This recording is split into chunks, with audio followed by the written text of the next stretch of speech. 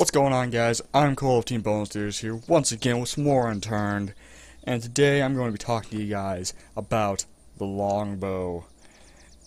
Uh, yeah, the longbow. Now, that video I posted the other day about where to get the Timberwolf sniper rifle and the Nova shotgun has, is, is our most viewed video by quite a ways.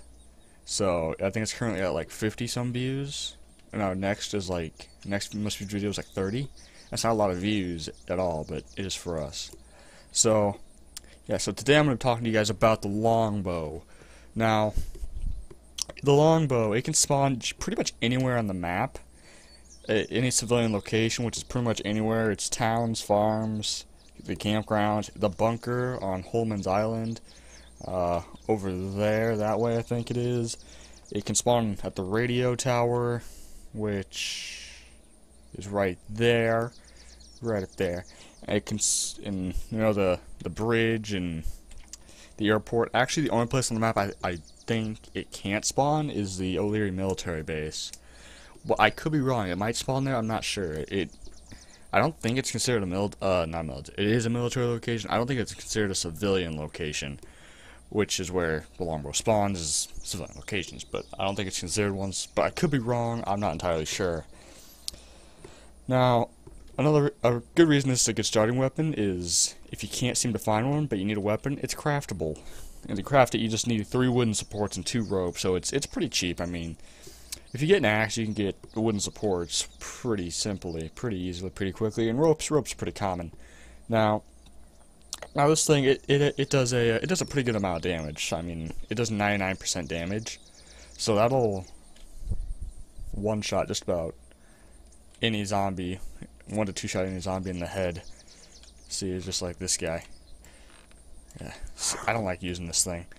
Now, because like as you just saw, disadvantage of it is like when you zoom in. Okay, got him. The crosshairs just disappear, so it makes it very ineffective at really long range, or really even medium range, I think. I think it's really hard to aim. At close range, it's not so bad, as you just saw there, but still, I don't know. But and also it uses arrows as a as a um, ammo. You know, obviously it's a bow. But the thing about good thing about arrows is they're pretty common. They're craftable. I can't really think of the the uh, recipe right now. I think it's like nails and sticks or something like that. But I, I could be wrong. I don't really know. And also, if you hit just like a wall or something, you can pick them back up, which is is that in, I fired it backwards. That's not safe. So that's pretty cool. You can just like get them back if you miss yeah, it's firing the wrong way too. And my frames, what's going on with that? That's weird. Okay, that's pretty nice. Okay. Also, it's pretty lightweight. It's uh, 0.5 kilograms. That's pretty lightweight. Uh, it's silent, which is nice. So it won't like draw on a bunch of zombies. Like especially if you're starting off. Starting off, it won't call on a bunch of zombies like more than you can handle like a shotgun might or a sniper rifle might. Uh, also, it's got like no recoil as you saw, which is amazing. So, like, here, we'll just walk up to this guy over here. It's got like no recoil. Oh, I, I need to reload it. That's no downside. It can only hold one arrow at a time, which it's kind of crappy because I often forget to uh, reload it. Anything in there is a carrot seed. Um, so yeah, that's sucks.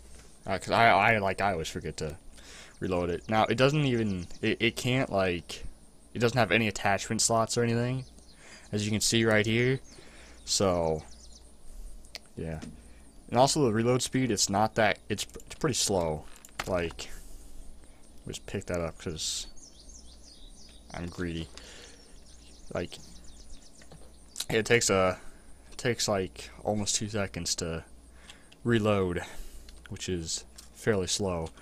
Also, once you get like a um a crossbow or a compound bow, it's uh, it's completely obsolete because well, I'll talk more about that when I make the video for those weapons, which will be going up sometime after, which will both be going up sometime after this one. But yeah, it's just more the reason that it's just a good starter weapon. I mean, it's it's it, later on, like if you get to like to the point of where I am, where you have like all your skills maxed out, and you have the Timberwolf and the Nova, there's no real point to it. It's pointless. I guess would be the right word for it, but yeah. I don't know if you guys can hear that. I'm like cracking my knuckles. Bad habit. But but yeah, it's it's pretty obsolete once you get a uh, hmm, a uh, what what is it? A compound bow or a crossbow. So, all right, guys, I'm back. I just kind of, for whatever reason, I felt the need to ramble on about some useless crap there. I don't know. I, I do that sometimes, but yeah, that's pretty much all I have to say about it. Uh, like it, like I said, I don't know where I where I'm gonna cut the video at, but it's a good starter weapon. Uh, you know, as you can see, like right here, long range. is probably no way I'm gonna hit that guy. Yeah, see, there's just long range is not so great. But anyway, guys, I hope you enjoyed the video. If you did, don't forget to leave a like, and if you want some more of content, consider subscribing, and you know all that good stuff. Thanks for watching, and I will see you guys in the next video.